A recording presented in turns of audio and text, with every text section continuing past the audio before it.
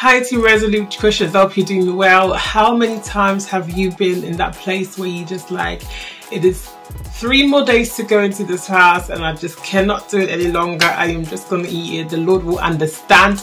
I just need to eat something and just release myself and just be good because this is too much. I can relate, okay? I can relate. Um, I think we've all been there where we just started fast, we start off motivated, we start off, you know, like anything else in life, like whether it's a diet or something, you just like, you start off very motivated and you started and then you're good for the first two days and then coming to the third day, you're like, listen, why did I ever get myself into this?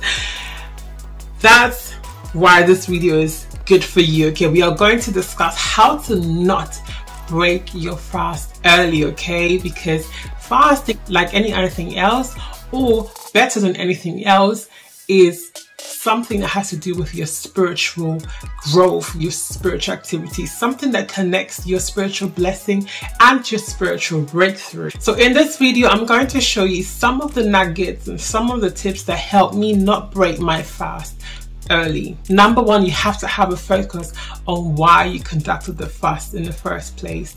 You must have a strong conviction and reason for that fast, and that thing will have to be your focus no matter what. Okay, whether it is spiritual warfare, if there is something in your life that you know is not of God that you know needs to be broken and has set you back over and over again, has brought you pain over and over again, you will have to know that you are contending. You are contending that this hunger pangs, this distraction, this thing want you to just relax and give up. See it as warfare. See it as that thing is trying to throw you off the tracks and have you give up on the fast and therefore give up on a spiritual contention and have them prevail. God forbid. Okay. So number one is focus. Why are you fasting? what is the fast for and keep that focus in mind. Number two, limit distractions, okay? During the time of fasting, yes, you are depriving yourself of food. However, you also have to create the environment that will enable you to pray more, to study the word more, to hear the Lord better, clearer, stronger, to receive visions, to receive encounters and impartation.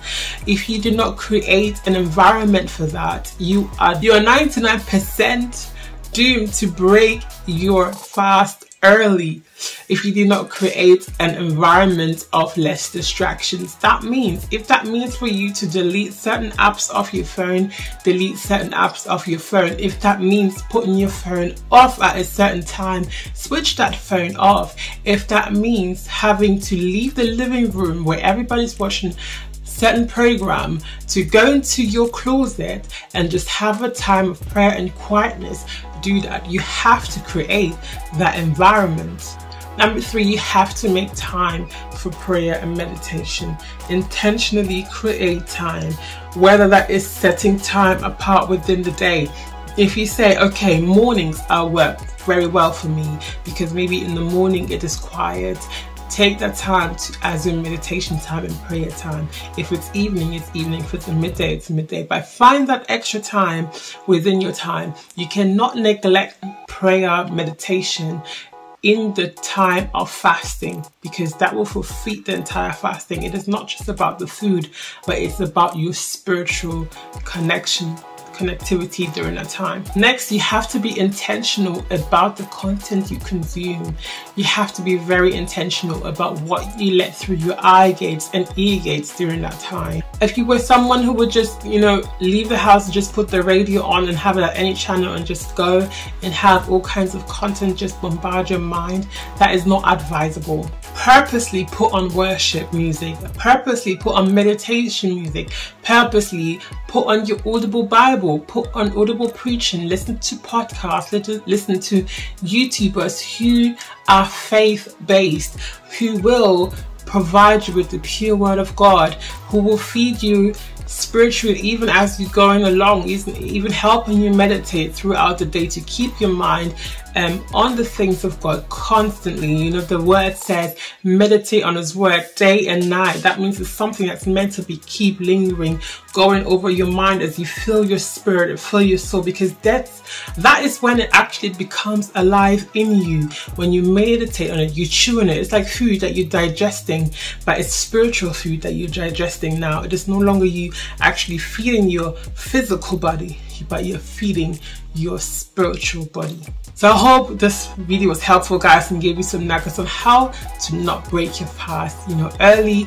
And if you guys want to follow me, I'm currently doing a 21 day fast myself and I have actually created a video showing you a day in my life in my 21 day fast and in that video I do actually show you you know what I do in the morning how I pray how I meditate how I set up my day and even how I break my fast and go through that day of fasting. And if that's something you want to see, do check it out and I'll see you over there.